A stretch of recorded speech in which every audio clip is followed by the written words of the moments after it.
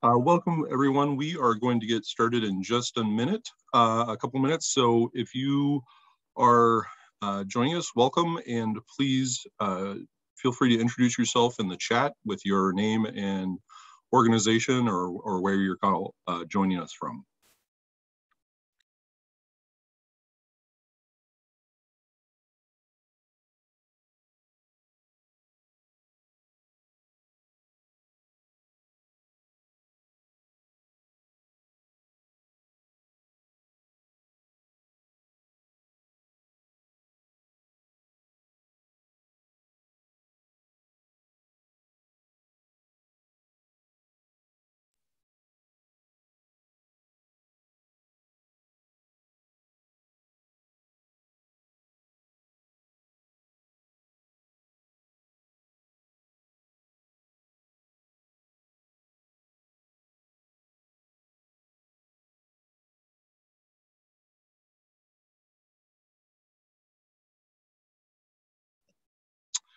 Again, welcome everyone uh, to our uh, webinar today. Uh, if you have not yet done so, please introduce yourself in the chat with your name and uh, where you're joining us from or your organization.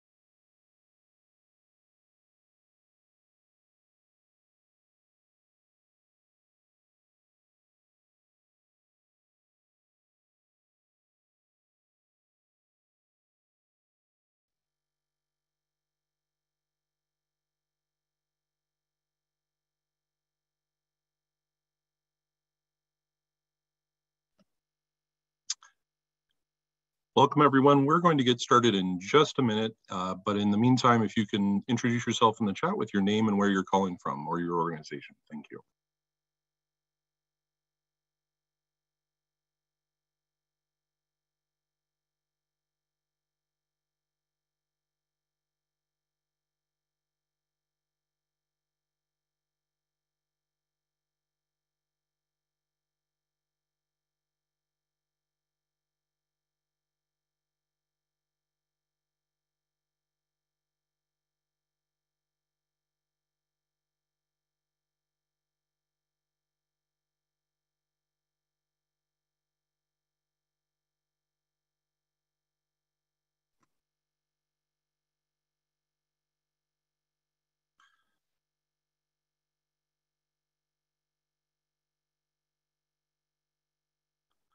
All right, I think we're uh, going to go ahead and get started today. Uh, thank you to everyone for joining us. Uh, we have a lot to cover, so we're going to go ahead and get started. Uh, my name is Benjamin Orr. I'm the president and CEO of the Maryland Center on Economic Policy. I apologize that I'm off video, but I'm uh, having some internet trouble today. Uh, but I really appreciate everyone for joining us for this really important conversation. I also want to thank the Kaiser Family Foundation for their support of this webinar series. Uh, my, I, uh, excuse me, for those of you who don't uh, know our, the Maryland Center on Economic Policy, uh, we are a nonprofit, nonpartisan think tank that believes every Marylander should be able to achieve their full potential in a healthy economy that offers a widely shared and rising standard of living. And uh, we're so happy to have the opportunity to have this conversation today. Uh, I am going to introduce our moderator, uh, Dr. Shivonne Laird is a board member of the Maryland Center on Economic Policy. She's also Director of Community Health Impact for Bon Secours Mercy Health. Uh, we'll kick off this conversation in just a moment. Uh, we do plan to leave plenty of time to respond to your questions at the end. Uh, if you are joining us on Zoom, you can submit them at any time using the Q&A button at the bottom of your screen. Please do note that this webinar is being recorded uh, and you will receive the recording and other materials via email afterwards. With that, uh, I will hand things to Shivonne. Thanks so much, Ben. It's a pleasure to be a part of this of this series. Um, I really want, want to make sure that we save time for our individual speakers um, to say what they have to say, because what they have to say is the most important thing today, and as well to get to any questions that participants have. Um, today's um, webinar is on equitable access to care. Access to care is a very um, multifaceted um, topic. It's some people see it as insurance access, some people see it as having a provider who can communicate effectively with you. Um, fortunately, we've got a panel um, of guests that can provide a multitude of perspectives on this topic. Um, so we will jump right into it. So we're hoping, um, there may be some technical difficulties, but we're hoping that Kony um, Portillo will be able to join us. She is the research and policy analyst at CASA. But I will um, jump to um, Vinny DeMarco, Vincent DeMarco, who is the president of Maryland's Citizens uh, Health Initiative. His pronouns are he and him. The Maryland Healthcare for All Coalition is made up of hundreds of faith labor, business, community, and healthcare organizations across the state working to win quality, affordable healthcare for all Marylanders.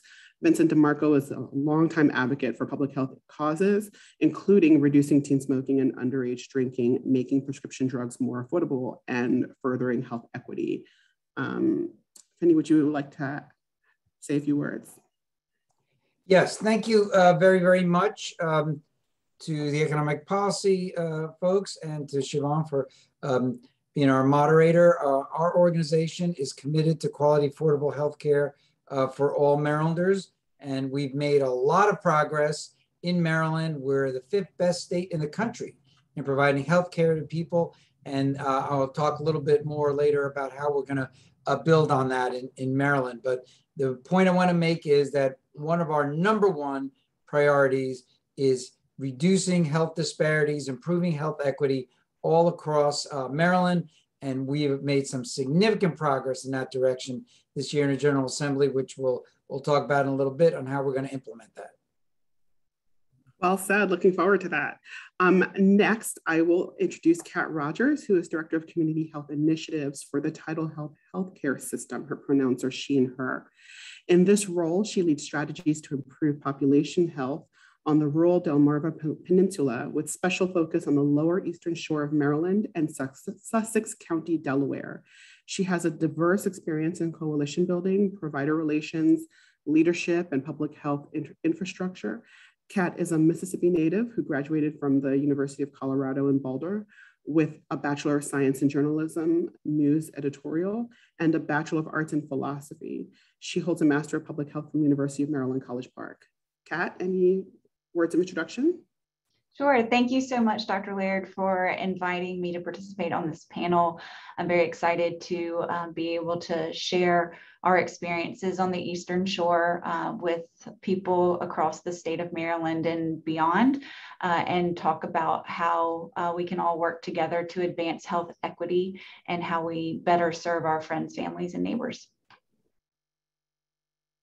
Thank you for that. And next, move on to Isabel Antreasian. I want to make sure she repeats it so she says it correctly. Um, community School Coordinator, Child First Authority. Her pronouns are she, her, and hers. The mission of Child First Authority, if you're unfamiliar, is to develop youth and strengthen families by providing high quality community schools, after school, and summer learning programs that promote academic achievement, social and emotional well being, and parent leadership. Child First Authority is the lead agency for 10 community schools throughout Baltimore City. Isabel works to support the community school strategy at Dorothy, Dorothy I. Height Elementary in Reservoir Hill. Isabel? Thank you so much for inviting me to be a part of this panel. I very much look forward to talking about access to healthcare with you all. Um, I would just add that if anyone is less than familiar about community school strategies, um, it's an approach to addressing the needs of a school community and supporting the vision of a school community that has been identified by that school community um, by bringing resources and partnerships and programs into the school itself. So making the school a resource hub for the community. So I look, I look forward to talking about healthcare through that lens.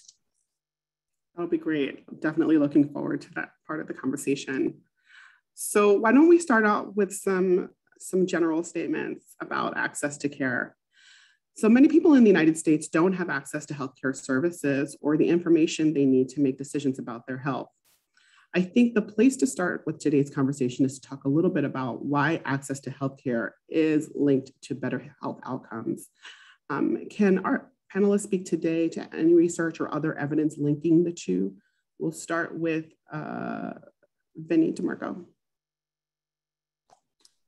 Yes, thank you. There have been many studies over the years showing that um, uh, pe when people have more better access to healthcare coverage, health outcomes improve all across the line, and that's been true.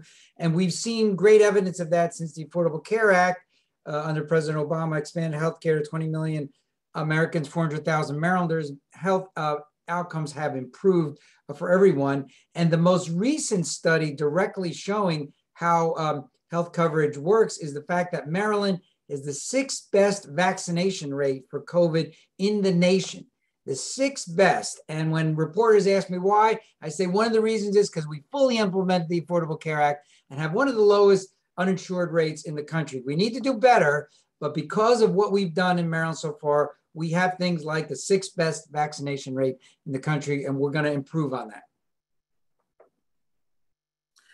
Thanks. Definitely a Go Maryland moment for sure. A moment to be proud. Um, next, we'll check, check in with Kat. Kat, yeah, um, so I bring a little bit different perspective because I come from a, a, local health system in a rural part of the state of Maryland and also serving parts of Delaware. And um, access is, is one of the biggest problems that we face in providing um, care and in health outcomes and health disparities. We know that social determinant of health factors such as education, economics, environmental can drive 80% of health outcomes versus medical care. And so these barriers and challenges associated and related to social determinants of health, um, they can really exacerbate the physical problems to access. So a shortage of providers in rural areas or lack of transportation to be able to get to those providers in a widespread geographic region can all have a, a major negative impact on individuals' health. When I, I think it's helpful um, because these are complicated and abstract topics to you know tell a tell a short story if I, I have a, a minute or so um, about an access problem. So we had a patient who's on dialysis coming in and out of the ED a lot. And his barrier to getting care and getting to dialysis treatment and then to being discharged from the hospital was because he was wheelchair bound but did not have a ramp there was a just a little thin board of plywood outside of his house. So it wasn't safe for medical transportation to pick him up. It wasn't safe for the hospital to discharge him to his home. And so that um, the need for repairs on his home was a major barrier to accessing care and causing him to repeatedly end up in a crisis situation. Other barriers can be uh, linguistic or uh, basic health literacy and not understanding how to manage your own conditions. And all these things, not being able to access primary care, primary prevention, secondary prevention, basic health screenings, again, means that people end up waiting to go to the hospital until they're really sick. It's a recipe for a sick population uh, who are ending up in the ED because of a crisis. Wow, that's really a poignant story. And I think it's a it's a great way to really drive home this connection between even ha how your home is laid out, how your home is is um, built, and and being able to get um, to a healthcare provider. Uh, thanks for that, Kat. I will turn it over to Isabel to answer. Thank you. And thank you both for what you shared. I definitely um, have seen examples of some of what you shared with working with families at our school. Um, definitely have seen the impact of access to care on just overall wellness and overall um, ability to kind of show up and provide for, for students um, and also have seen some of those barriers to access um, and have had many conversations with families about barriers to access, which is what kind of drives our work and trying to think about what, how can we build partnerships um, with different programs or bring those programs directly into the school. I know Kat just mentioned some of these, but some of the things that definitely are top of mind are transportation, um, personal experience with healthcare providers, maybe having had a negative experience with a healthcare provider or an inconsistency um, with the healthcare system, even capacity for scheduling visits, whether that's a family, um, you know, like balancing the school and work schedule and being able to fit into the schedule of a healthcare provider or the capacity of that provider. Even some of the providers that we have partnered with our school have like a particular capacity for their caseload. And so then we have students that may not be able to access that um, service because we are at capacity. So looking to expand what we're able to offer um, is, is important and it also just requires more effort and more resource to be able to do that. Um, another piece is just awareness of the resources that are available and also the changing landscape of those resources that are available, especially after this past year. There's several businesses or providers that have either changed what they're offering or maybe are no longer offering um, what they were doing. So.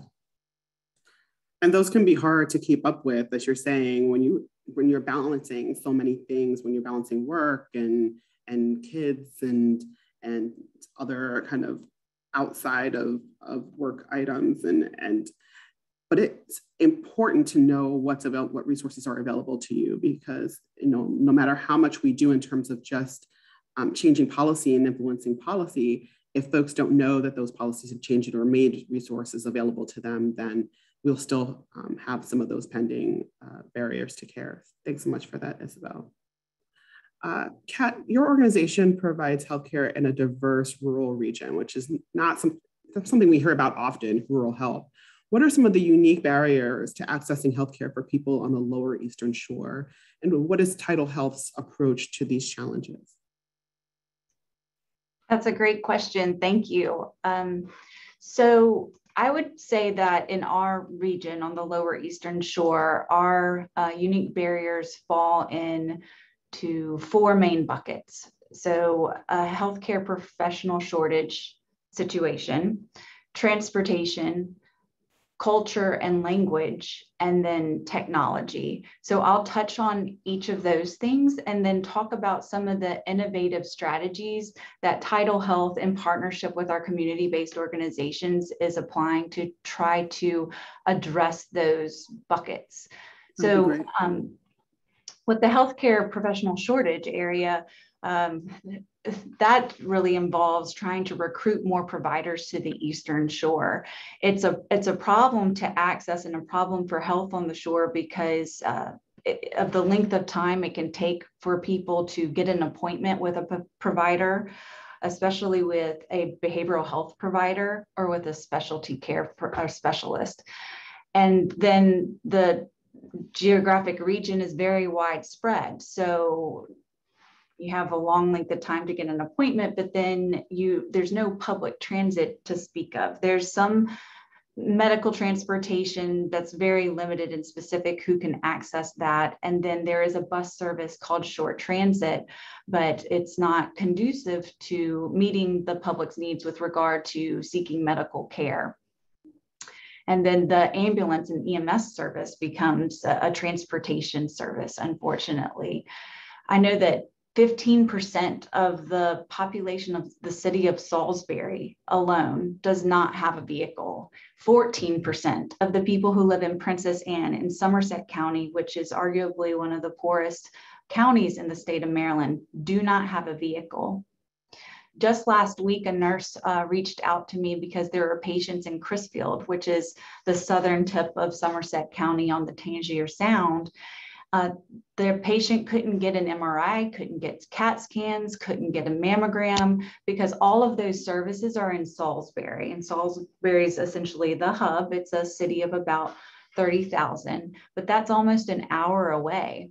We've got about 200 residents on Smith Island, and that's only accessible by boat. And it's home primarily to watermen and women who, um, who are either self-insured or don't have health insurance operate in cash and they they don't have a way to regularly leave the island to seek primary preventative care We've got a growing Haitian population that's estimated to be between five and 7,000 people now, many of whom are working in the poultry industry.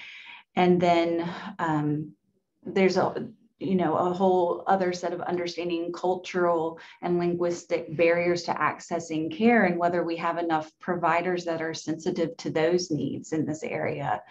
And we really learned a lot about these barriers during COVID and built new partnerships, especially with the poultry workers and our Haitian and Spanish speaking um, residents.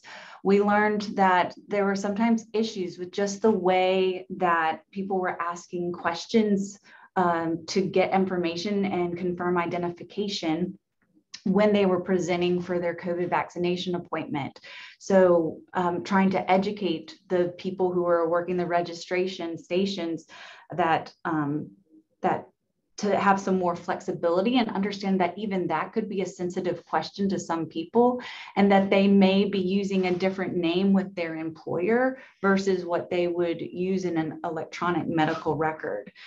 Also, when um, the vaccination effort kicked off people could only make appointments online. And with very little technology, that's the other bucket, lack of internet access.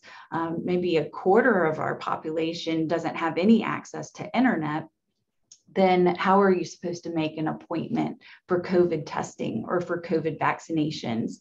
So, we worked with our community partners, with volunteers to go out in the community and and make appointments on, by pen and paper and then take that back into the office to plug it in for people. But with when you live in an area that's rural and has very limited resources and um, and organizations to work on these things, it's so important to work together and to collaborate across sectors the lower eastern shore is very interesting. Um, covid brought out the best in people and uh, we established this lower shore vulnerable populations task force. It was spearheaded by a, a nonprofit tri community mediation and now involves um, maybe 60 or more partners from various organizations and communities and neighborhoods all coming together week after week to talk about vulnerable populations and the impact that COVID's having and now continues to have. And how do we continue to um, work across lines to have a healthier community? and address social determinant of health barriers so that when an individual, regardless of their race, their background, their language, comes to an organization that there's no wrong door and that everyone in the community working for the community is aware of the resources and who they can connect someone to and make warm handoffs. So we have a number of uh, sort of cross sector um, multi and interdisciplinary teams and regional approaches to try to address some of these barriers.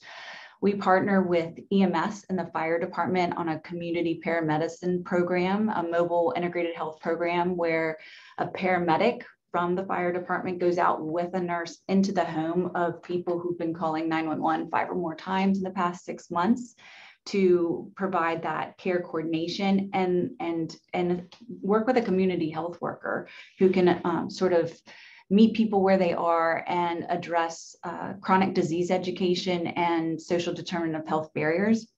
We're also doing mobile health screenings and uh, on medical vans or just at a booth at um, area events with the community and in churches. And then partnering with home repair and home building organizations like Chesapeake Housing Mission and Habitat for Humanity to um, build wheelchair ramps, such as the, the patient that I gave an example of earlier, or to um, repair homes of low income individuals who have asthma, have someone with asthma in their home.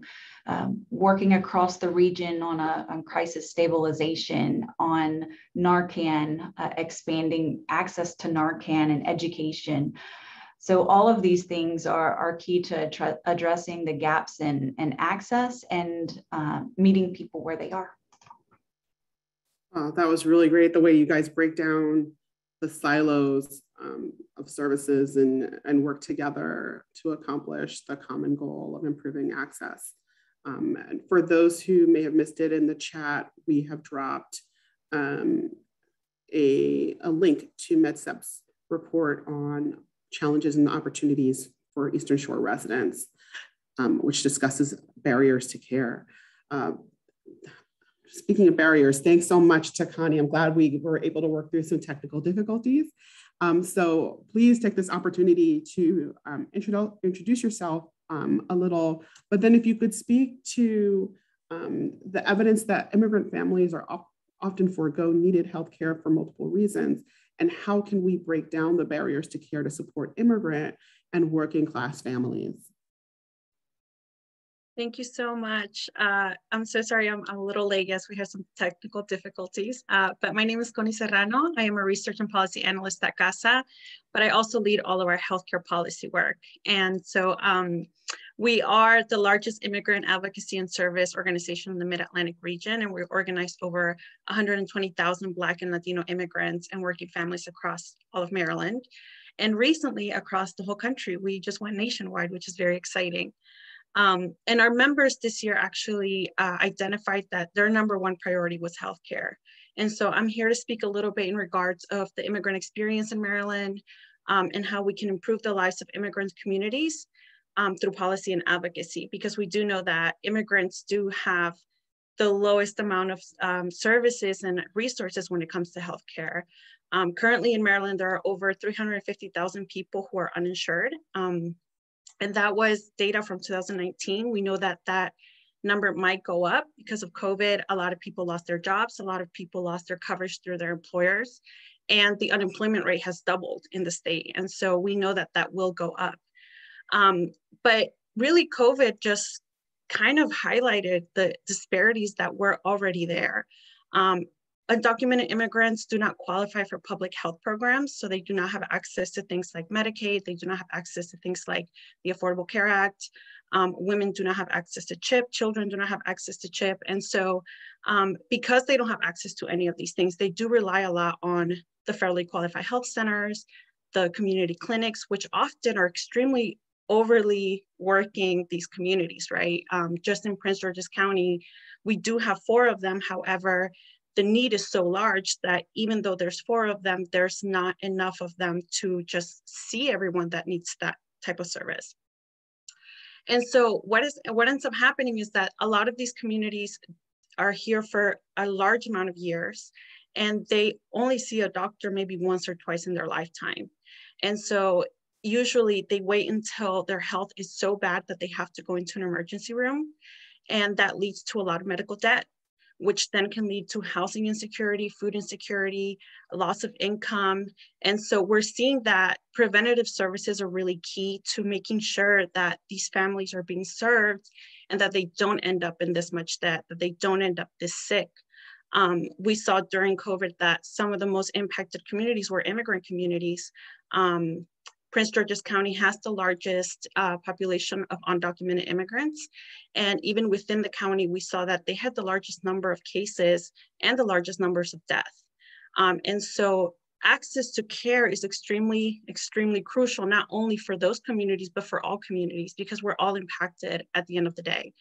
Um, and so preventative services are key to prevent diseases, um, to prevent disabilities, um, to increase the quality of life, which we know that immigrants already don't have great quality of life, right? They already are working three, four jobs, and a lot of those jobs are physically extremely demanding.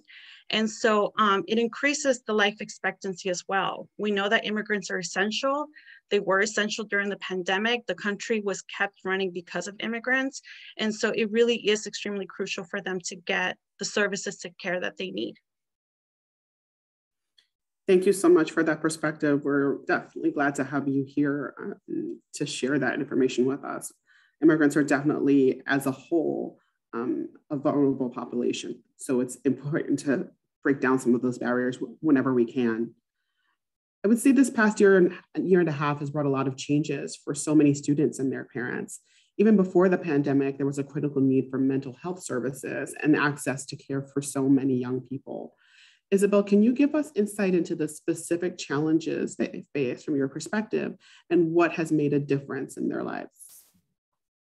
Absolutely. Um, so my position, again, is situated within a school and involves a lot of communicating with families um, and building partnerships and connections to resources for those families.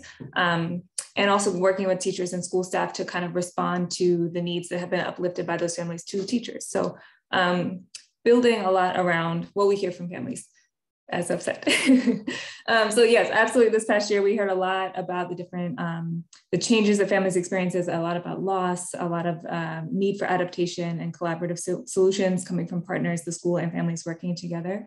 We know a lot of families experience change or loss in employment and the benefits they receive through their, through their jobs. Definitely a lot of change in housing stability. Um, and and just in being out of the school for over 15 months the sorts the supports that are available through the school so that's you know, the actual academic instruction for their students. Um, in some cases, the IEP or special ed resources and services that those students provide had shifted because again, they were out um, working virtually. Um, the food supports that are available through the school and school system, the social and emotional health supports that are available through the school and school system, that being family workshops and kind of school-based organized workshops, but also um, working with our school mental health team and receiving direct mental health care and services through that team. Um, and then of course, um, yeah, those, those are some of the some of the law, loss and experiences we heard about, um, which of course all have an impact on student mental health, family mental health, and their broader physical wellness as well.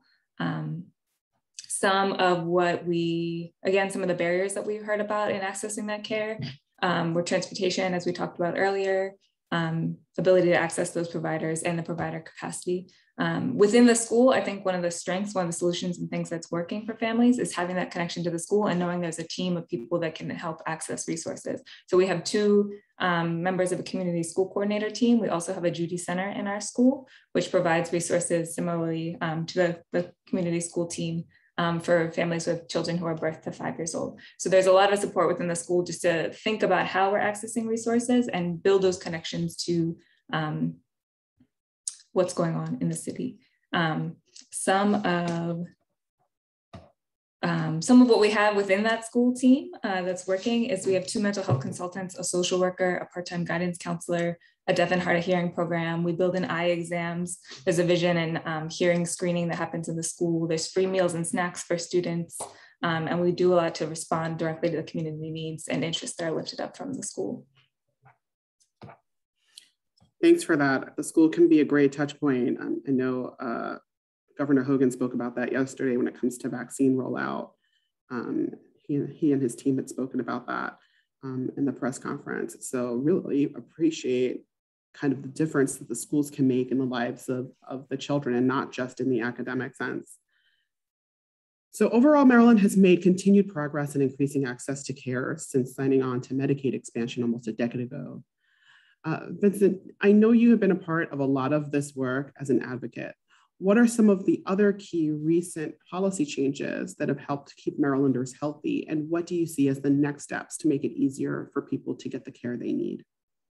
Well, thank you. And thanks again for including me. I want to uh, give a shout out to Kat. She's one of the reasons the uh, Affordable Care Act works in Maryland. She was helping sign people up on the Eastern Shore. So thank you very much, uh, Kat. And uh, uh, it's our pleasure to work closely with Kony and CASA. I'm thrilled to hear you're going national. The country can benefit from CASA around the country. Uh, we believe strongly in care for undocumented immigrants. Um, well, Maryland has made a lot of progress. As I said earlier, under the Affordable Care Act, uh, President Obama's great law, we've reduced the uninsured in half from 13% to uh, 6%. Over 700,000 people were uninsured a few years ago. Now it's 350,000 by, by estimates, um, which, which is great. And under uh, President Biden and, and, and, Vice President Harris, we passed this year the American Rescue uh, Plan Act, which is increasing subsidies uh, for folks on the Affordable Care Act. So as of November 1 next week, uh, open enrollment, there'll be a lot more subsidies. So that's going to help even more people get health care. And we've also done more in Maryland. We've adopted a reinsurance program, which has reduced premiums under the Affordable Care Act dramatically. And, and that's how people afford health care. We created the first in the nation prescription drug affordability board, which other states are, are emulating, which will make high cost drugs more affordable. And in 2019, we also enacted an easy enrollment program, the first in the nation, which at tax time, you're asked, are you uninsured? If you say yes, we'll connect you to get insured. And that's gotten thousands of people insured who weren't nice. before. And our wonderful Senator Chris Van Hollen has introduced national easy enrollment legislation, and other states are following our lead. That's all been great uh, progress up till now. This year, in 2021, uh, three new laws were enacted, which we're working on making sure are, are, are, fully implemented, which I want to talk about for a second. And all of you can, can certainly help us get the word out. One is uh, put in by Senator um, Jim Rosapepe and Delegate Lori Charkoudian, extends the easy enrollment to unemployment insurance time. So under this law, when you file for unemployment insurance, you'll be asked, are you also uninsured? And if so, be connected to the exchange to get health care. That will not in effect yet, but it will be soon under this new law. So we're very excited about that. A second uh, great new law to build on the Affordable Care Act and the uh, American Rescue Plan Act by Senator Brian Feldman and Delegate Ken Kerr provides for two years $20 million a year in additional subsidies for low income young people between the ages of 18 and 34. And I just want to say, I want to have a big shout out to the Maryland Health Benefit Exchange, led by Michele Eberle, which is one of the best, if not the best exchange in the country. They're responsible for a lot of the success we've had so far, and they're implementing this new law very, very well. So as of November 1, Marylanders who previously went to marylandhealthconnection.gov and thought, well, I just can't afford this, should look again uh, because uh, there are going to be new subsidies, but the federal subsidies and the state subsidies. Let me give you an example. a 30 year old uh, young person uh, making about 30,000 a year is now spending about $70 a month on their gold plan under the Affordable Care Act. As of November 1, that'll be $1 a month. $1 a month. And that's wow. the kind of new subsidies that are available we're working to get the message out. We're going to be doing events with uh, local leaders, and we're going to really working very hard to get the message out about the, these new uh, new subsidies. And my colleague Stephanie Klapper can put in the chat a toolkit that you could spread out, and it has a flyer and everything. So get the word out through your networks. As of November one, everybody who's uninsured should go to MarylandHealthConnection.gov and find out how they can get healthcare coverage. We also know that beyond healthcare coverage, we need to address health disparities. Health disparities are a huge problem in our state and across the country. Um, uh, uh, thank you, Callie, put up the, uh, the toolkit. Thank you very much. So the health disparities, we know there are zip codes very close to each other where, where, where the average life expectancy is much lower in a predominantly person of color zip code compared to predominantly white zip code. That is unconscionable and we must do something about it. In 2012, um, under uh, then Governor Martin O'Malley, Lieutenant Governor Anthony Brown, a law was enacted creating health enterprise zones.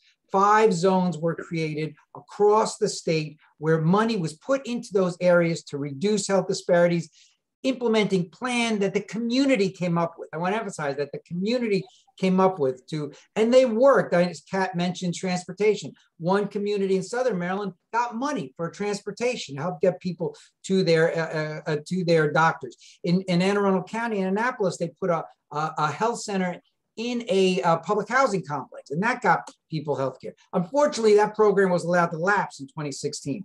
Under leadership of Senator Anthony State Senator Anthony Brown and delegates Erek Barron, who's now our U.S. Attorney, and Delegate Jazz Lewis, we have created the Health Equity Resource Communities, which builds on the health enterprise zones. I want to really thank um, uh, uh, uh, Chairman Guy Guzzone of the uh, Senate Budget and Tax Committee for what he did to make sure that over the next five years, these health equity resource communities will have $59 million to provide ways that local communities can build their own plans to reduce um, reduce health health disparities. And right now, right now, there's a request for proposals out there by the Community Health Resource Commission uh, ch uh, that chaired by former Senator Ed Kasemeyer. The director is Mark Luckner. They're doing a great job of implementing this. Right now, something called the pathways, where people can file for uh, re respond to requests for proposals, apply for grants. They have until December 7th. So you should go to that website, Community Health Resource Commission. And in fact, if you're in Baltimore, there's a forum about that at Coppin uh, state today at at 4:30, and you can go on that website and find out where you can go and find out more. You should, if you think you have a way to reduce health disparities, you should apply. And in 2023, that'll build more into health community. Uh, health equity resource communities across the state. There's a lot. Uh, uh, thank you, Callie, for putting up the, the pathways uh, link. So people yes, thanks so much, Callie. yeah, thank you for both those, Callie. These are two great new measures. I don't want to take too much time here, but let me just close with this. Even after all this, there's more we have to do. Two things we're going to have to do after we implement all these. One is address the problem of undocumented immigrants getting health care. We plan to work closely with CASA to, to make that happen.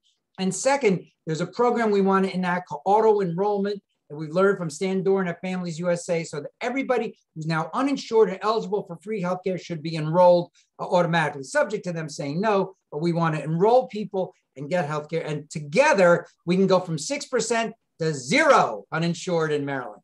So thank you very much, uh, Dr. Laird, for having me. I really appreciate that. You know, and every time I, I hear you speak, I feel like I by myself could just solve all of these problems with a Maryland flag flying behind me. I'm going to take this brief moment to collect myself and remind everyone that this is a great time to put any questions you have in the Q&A um, section in this part of the Zoom um, so that the panel can, can address any questions that attendees have. And we're gonna switch gears a little bit and we'll start, so we'll start taking questions from the audience. And as we're doing that, we just heard some great thoughts from um, Vinny and DeMarco about some key policy changes that would help Maryland families, some opportunities that are available um, for organizations to apply to to help um, Maryland families as well. I'd like to ask each of the other panelists to share one or two policy changes that they think um, are critical to addressing gaps in access to care. And Kat, we will start with you. Well, I'm very inspired, Vinny, and um, just so y'all know, uh, a number of partners have come together on the lower Eastern Shore, and we are going to try to become a health equity resource community. We are um, well on our way to working on our application, and if there's Perfect. anyone on this call who is uh, an organization or inspired uh, and wants to do, partner in this work, we are inclusive and open to new partnerships, so please reach out. Um, but as far as other policy changes that would help address the issues that we've been talking about, um, I look at it in terms of trying to work with the payers, the health insurance companies, the MCOs, managed care organizations of Medicaid, Medicare on alternative payment models for some of the solutions that we are um, that we have evidence showing the impact. We're showing reductions in readmissions, reductions in ED visits, reductions in cost, uh, improved health outcomes with using community health workers, um, with uh, having this community paramedicine nurse and paramedic program operating, but we're trying to have these conversations with the different insurance companies and show them the evidence and try to get support um, because we believe that, that that needs to be a stronger partnership and there needs to be policies to support that uh, alternative payment model. Thanks for that. That's a great suggestion, Kat. Uh, next, I will turn to Isabel. Thank you. Um, one policy change that comes to mind for, for me and also those of us working um, for Child First is just in, being able to increase the number of healthcare providers within the school, the school-based team.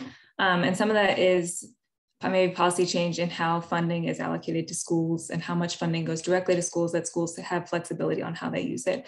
Um, I mentioned we have one social worker, we have a part-time guidance counselor, we have a small school mental health team, but those resources absolutely need to be expanded to be able to reach our students. Um, and even, you know, schools that have larger number of students need more than that. So I think being able to allocate the right number, right amount of funding toward those resources in schools will be really important. Agreed for sure. Kony, why don't you provide us any uh, policy changes that haven't been mentioned yet? Yes, thank you. Um, so actually there is right now legislation being drafted that would allow Marylanders, uh, that would allow Maryland to open the exchange to all of Marylanders, regardless of immigration status, which would mean that um, undocumented immigrants would have access to Medicaid and the Affordable Care Act. And so um, we already know that this works in other states. We have examples. Um, there has already been policy that has changed the numbers of uninsured residents within their states drastically, uh, Massachusetts being one of them, uh, who has the lowest uninsured rate in the country. And so there's definitely we definitely need the advocacy and support around this. Um, and at the county level, we can also provide universal care options um, at the county level with the right funding. Um, Montgomery County is an example of this with Montgomery Cares, and I think there are many other counties who can um, expand coverage for people um, who do not qualify for these other services. Um, so I think those two are the big ones. Thanks for that, Kony. Appreciate it. And Vinny, any last thoughts on before we go into the Q&A?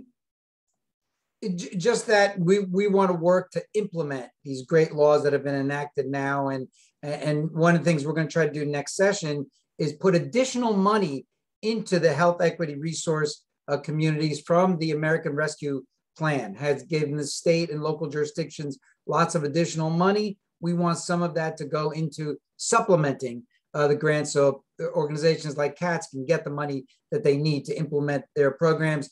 And we're also working with Senator Katie Fry Hester uh, to make sure small businesses have the support they need to provide healthcare. Thank you very much. Thanks for that.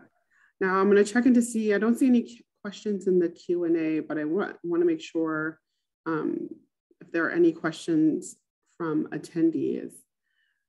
On the meantime, what I would ask is, have you all, or have any of you seen a change in the landscape of access to care um, based on within the past year and a half based on COVID? I know for Bon Secours Mercy Health, a lot of those changes to access have been based in social determinants of health, um, especially food insecurity. We've seen a lot of that pop up. Um, folks are so you know focused on that they're not even focused on healthcare um, itself, healthcare services. Um, but are there any other in your specific communities, immigrant communities, rural communities, in the school communities? I know Isabel, you had touched on availability of services in schools, but with the schools closed, those services no longer being available. But are there changes, do you think, to how healthcare is accessed or, or barriers, how those barriers have changed um, pre and post COVID?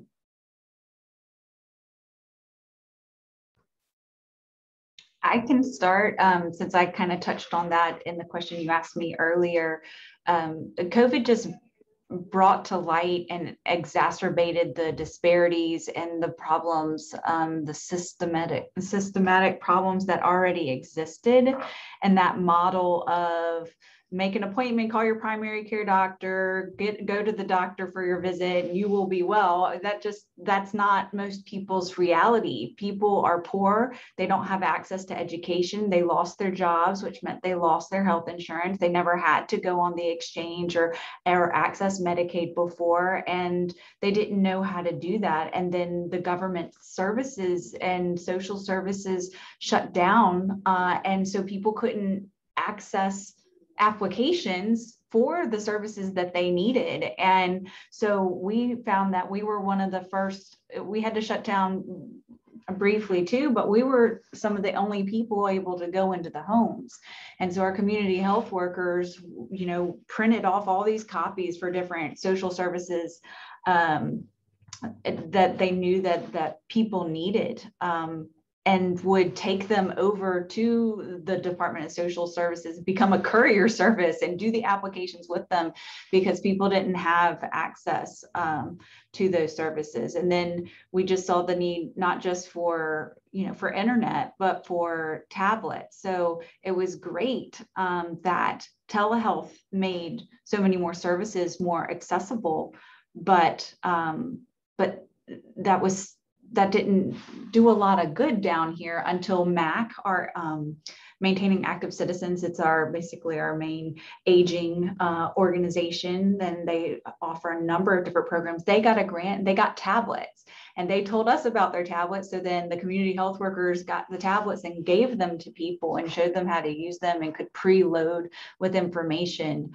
Um, and then you mentioned food, but interpreters and paying for that work, that valuable work of providing interpretation, um, not just for medical care and consenting to medical care, but to screen for social determinant of health and to educate, especially with um, our undocumented populations of what they what they are eligible for and, who could help them and how they could access. So all of those things um, helped us learn more about what people really needed and uh, caused us to adapt and work much closer with a lot of different other organizations that I think the hospital and the health system didn't traditionally work with before.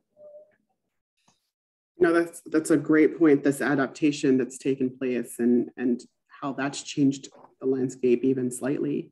Um, anyone else wanted to provide any additional thoughts on that? We oh Go ahead. Thank you. um, no, I just wanted to quickly just piggyback on what I said earlier that, you know, this really brought forward a lot of the need for care within immigrant communities. We saw a high number of them.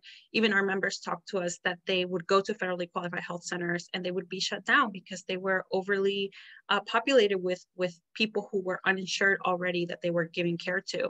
And so what ended up happening was that a lot of these people ended up just not having anywhere else to go. And that increased the level of mistrust that they had towards the healthcare system. Um, you know, what we hear a lot is, well, they don't want to see me, or, you know, they don't want to take care of me, or they, you know, and so it, it's, it builds a lot of distrust and a lot of, um, what feels like resentment from these communities that they they don't they feel like they don't want to be treated and so um, the the other part too is that a lot of these communities ended up not getting tested, not getting vaccinated because of this distrust. Um, in CASA, we held a lot of vaccine clinics.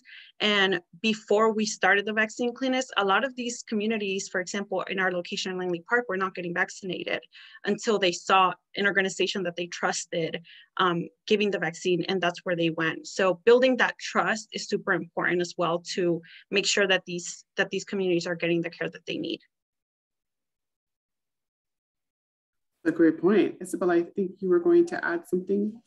Yeah, I just had a quick follow up. Um, a lot of what Kat shared kind of resonated with our experience. We had health service providers in the school really shift the way they were working to be able to offer a virtual option. And then also we quickly realized that that didn't reach everybody. We understood the lack of digital access, lack of internet access. Um, so it kind of pushed us to adapt the way that we were communicating and also um, how often we were communicating through different, different um, strategies. So I feel like it was a good relationship building um, exercise, not exercise. It pushed us in our relationship building with families and also in our communication pathways. Um, and it, it, pushed us to create opportunities for families to connect both with the school and each other to talk about the experiences they were having, and then kind of brainstorm some solutions together as school community um, and be able to reach out to our partners to say, hey, we've heard from this number of families that they need X, Y, or Z. What can we do? What can we build around this, this thought? That's a great point. Just communication in general and, and some of these processes that are maybe not specific to the program itself, but can be applied more broadly. Um, those those processes have cha definitely changed pre and post COVID. So so thanks for that, Isabel. Now there is a Q&A that came in around the affordable um, the coverage plans through Maryland Health Connections for 2022 and the ages that are um, that are addressed in those plans. So Vinny, I will turn that over to you. Yeah, thank you. Uh, um, the uh, plans available for people as of November 1 open enrollment are for people of all ages. And um, in fact, many people of all ages are going to get additional subsidies thanks to the Biden-Harris American Rescue Plan. And one of the things they'll do is let people at incomes a little higher than were able eligible for subsidies before get um, health and uh, get additional subsidies. So if you're uninsured, whatever your age is, check marylandhealthconnection.gov on November 1st, and you are likely be eligible for a plan you can you can afford. The ages 18 to 34 will be getting additional subsidies based on the Maryland law, and that's what I was uh, referring to.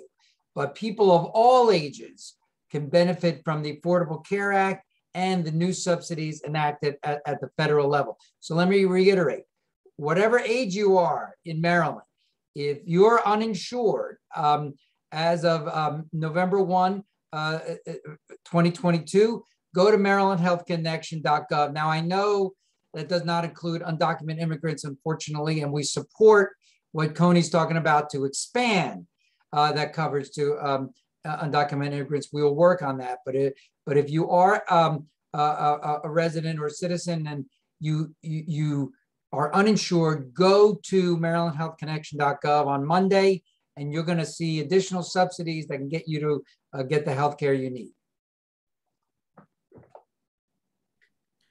Thanks so much, Vincent. I appreciate that. Well, I want to thank all of the panelists, since I don't see any more questions, thank all of the panelists for providing their insights today. It's really been great learning from you guys today. And, and I see that are even some connections being made between attendees and panelists. Um, thank you guys for your time, for your insight, for your subject matter expertise. Um, and thanks to attendees to part, part participating in this um, webinar today. I will turn it over to Ben to close us out.